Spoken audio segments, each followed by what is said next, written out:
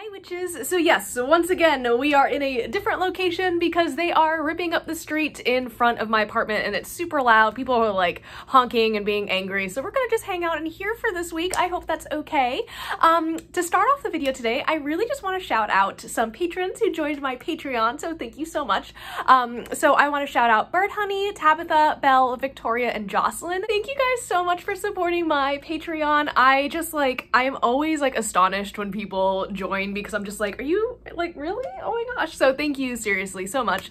Um, Patreon helps me like do this and like have this be my job. Um, and that is like the most rewarding thing in the world to me. So thank you for helping me like chase my dreams. I really appreciate it. Now for today, we're kind of finishing up some of this Witchcraft 101 topic. Um, and I wanted to um, really just take time to address the entirety of the lunar cycle because it's something that I really like to talk about. Um, I did a whole month of like lunar cycle videos last year. So if you guys are interested in a more in-depth look into that, definitely check it out. Um, I think it was like around this time last year, actually. Um, so I super recommend that. Um, but today I just am going to go into a brief overview of the lunar cycle to hopefully like demystify it a little bit, um, similar to how we did the Wheel of the Year, um, and just kind of give you guys like a good intro um, so that way you have a place to jump off from. So without further ado, let's start the lunar cycle. The first phase in the lunar cycle is the new moon. The new moon is something that we observe when there actually doesn't look like there's a moon in the sky at all. It is completely dark, um, and this is a time that that is really associated energetically with new beginnings. It's a kind of seen as like an energetic clean slate, so you can um, implement new things, break old habits, um, this is also the time where I tend to cleanse my house on a very deep level. Um, some people choose to do that during the full moon. I do it both times, but um, definitely the new moon is like when I am like scrubbing and like really getting in with like the vacuum and getting all the corners and stuff. There's just something about that energy, that clean slate that makes you want to have a clean space too. So um, that's kind of like a personal practice. Um, this is also a really great time to be setting your intentions. So the idea of the way the lunar cycle works in witchcraft um, is that it is a system that some witches use to kind of track their progress in their spell work and their personal journeys, whatever that they may be focusing on in that time. So um, Generally speaking, the new moon is seen as a time where you are setting those intentions. You are deciding what you're going to focus on for the month ahead, and you're kind of committing to that. So um, if if we're taking a look at the lunar cycle almost as if it is like superimposed over the wheel of the year, so I think I talked about that in the last video, um, I, I really associate this phase of the moon with the holiday Yule. It is a time of both stillness and like rest, that kind of like um, final like inhale, that final deep breath before you start working. So it's kind of like that time to, you know, pause, reflect, rest, but also it's a time of like rebirth and transformation. If you're watching this on Wednesday, the new moon was yesterday, which is a-okay. You can celebrate the phase of the moon the day of, um, excuse me, the day before, the day of, and the day after. So you can definitely still set some intentions for today. Um, but moving forward, we are going to be moving um, on to the waxing crescent phase of the moon. Um, so when we see this phase of the moon, it just looks like a little tiny sliver, like a really tiny crescent.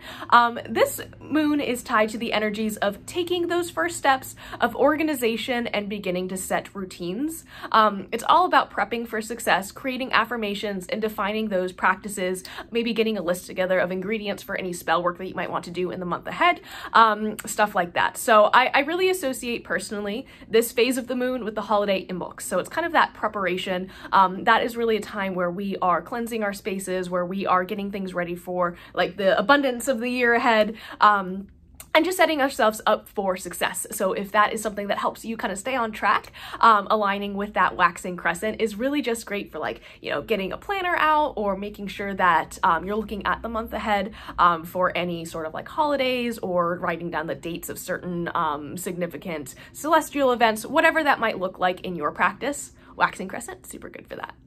Moving forward, we have the first quarter moon. Now this looks like a half moon, so half of the moon is illuminated. Um, and this is a period of time in the lunar cycle, which I, this is part of my personal practice. If this doesn't work for you, totally cool. This is the time that I generally like take a step back and check in with myself. Um, this is all, this time of the lunar cycle is all about taking decisive action, gaining energy, moving forward, expansion, growth, and first successes. So I think it's really good to kind of like level with yourself and just be like, okay, is this like where I want to be at this point in the month when it comes to like planning spell work or working towards my goals? Like what do I need to fix um, in, in the next week or so before I get to the full moon in order to make my spell work as successful as possible? So this, this phase of the moon is again kind of all about that expansion. It's you are gathering energy and starting to um, really put your will into action. So we talked about magic being, um, you know, willpower to move forward on your path.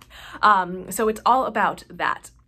I really like doing energetic workings that are focused on the elements of air and fire around the waxing phase of the moon. During the waning phase, which we'll talk about in just a little bit, I tend to focus on the elements of earth and water, which are a little bit more receptive, um, whereas air and fire are a little bit more expansive. Um, and personally, I associate the first quarter moon with like Ostara um, and that sort of energy. So it's kind of the first sprouts, that finding of balance um, before moving forward.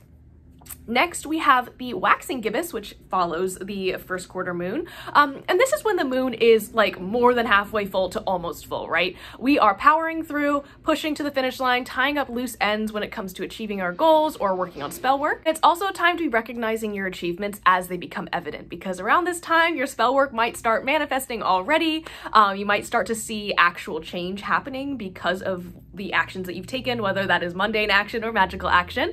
Um, and honestly, during this phase of the moon, I tend to focus more on mundane action over metaphysical. Like I'm really just like putting in the hard work to um, manifest whatever intentions that I set during the new moon during the upcoming full moon, if that makes sense. Um, and the waxing gibbous, I really associate this uh, with the holiday Beltane on the Wheel of the Year. So it has a very similar, uh, very like potent, very like um, vibrant energy to it.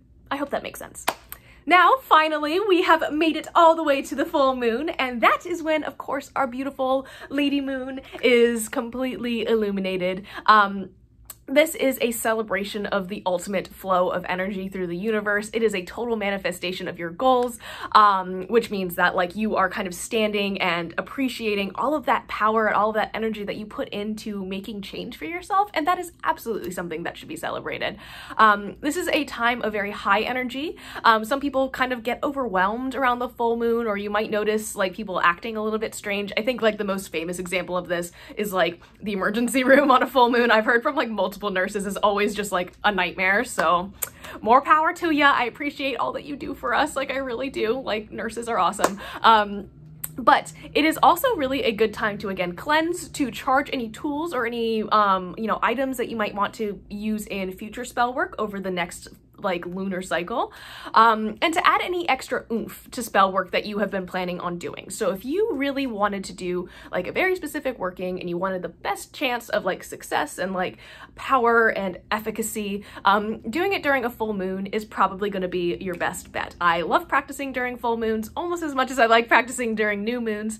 Um, so if you are looking for maybe a special um, like celestial event, maybe planning on doing a working during the full moon will work for you. Um, and in terms of like lining everything up with the energy of the wheel of the year that we talked about previously, um, I associate this phase with Litha, the summer solstice that we just celebrated. So it's just like this really high energy, very expansive time in the universe um, and the, the stars above, yes.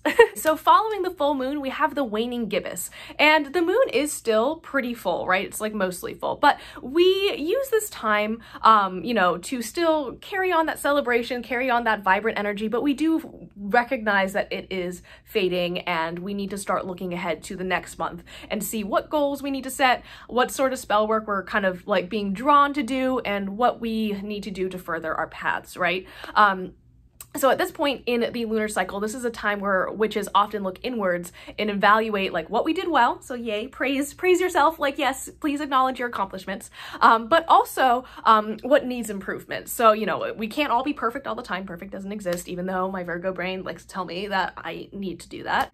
So for example, if you really were dedicated to like practicing on a daily basis and you missed a couple days, maybe focusing on like why you missed those couple days and what you can do to make uh, your daily practice a little bit more easy to incorporate into your um, like daily routine. And that way it's like a sustainable, holistic strategy, right? Um, so no shame in having to admit like, hey, this didn't work out for me. Let me figure out how I can make it fit. It's kind of the point of following the lunar cycle and using it to further your spiritual practice, right? Um, this is also time to begin to rest and allow ourselves to slow down, uh, to begin reaping the rewards of all of the hard work that we did, um, and focusing on the workings having to do with like healing, introspection, um, as well as like starting to think about the things that you would like to do in the future, like I said. Um, I really associate this phase of the lunar cycle with the Wheel of the Year holiday, uh, Lunasa. Um, so yes, uh, it's kind of like the first harvest festival. We'll talk about it a little bit more in August. Don't worry about it. Um, Next, we have the third quarter moon. So we are back to that half moon in the sky, um, but it's on the opposite side. And during this phase, we are generally checking in with our emotions, reconnecting with our intuition, finding that sense of balance again before we are starting that um, cycle of work and expansion. Um, again, this is a time where I really focus on connecting with that element of water and that element of earth. They're both very receptive and good for kind of pouring out emotions. Um, I, I, again find this a great time to honor and to nurture your emotions and also it's a good time to focus on shadow work. So if you're going to do it i recommend focusing on shadow work during kind of the waning part of the lunar cycle if that is something that you know resonates with you um, and it's just kind of a good time to begin to think on the things that you would like to achieve again during the, the next lunar cycle so um, it's it's all about kind of coming together finding that rest finding that balance um, and as such i really associate this phase of the moon with the Wheel of the Year holiday Mabon, um, which is a celebration of the fall equinox and finding that balance again. So you guys can kind of see how they go hand in hand, which I think is interesting and neat to point out. So I'm going to keep doing it. okay, and the final phase of the moon that I wanted to talk about with you guys today is the waning crescent. So again, we are back to that small sliver of the moon. It's about to be the dark, you know, darkness of the new moon again. Um, and this is kind of like our final rest uh, before we begin our labor again. So releasing anything that no longer serves us. We are cleansing and preparing the home once again. Um, maybe this is just me. I kind of have a very big focus on the my home as um, it's very just central to my practice. So I do spend a lot of my time like warding, cleansing, and preparing it. Um, so if that doesn't resonate with you, totally cool.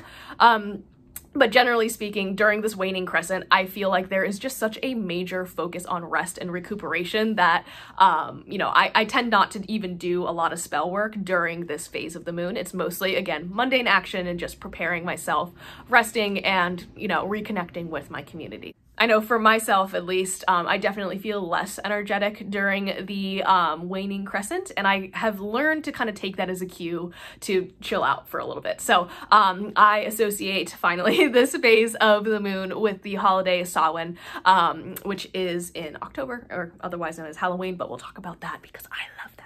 So um, that is my quick rundown of the lunar cycle. I know that was super fast. I do have some other resources available, so feel free to check those out and I will see you guys in the next one. Bye!